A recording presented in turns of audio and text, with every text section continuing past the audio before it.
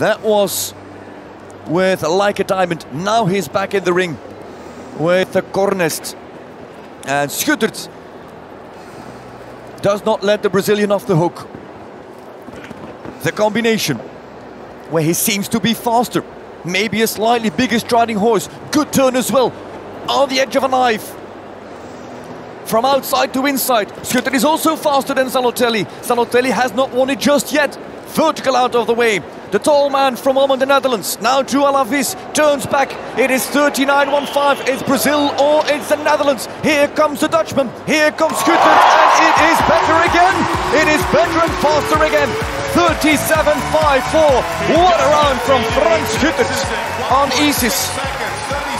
That is uh, unbelievable once again because he chews off a second and a half of the time of Marlon Modolo Zanotelli. But Schuttert found an extra gear that so far nobody has shown or found in this class. This was just brilliant. This individual class against the clock.